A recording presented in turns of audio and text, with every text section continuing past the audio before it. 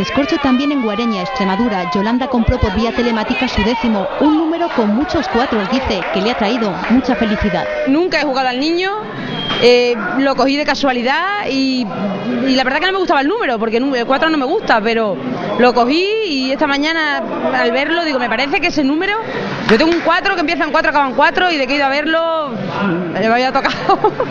74 sería generoso, ha sido un premio muy repartido, ha dejado millones en hasta 30 localidades de Valladolid, Alicante, Almería, Mallorca, Cantabria o Murcia.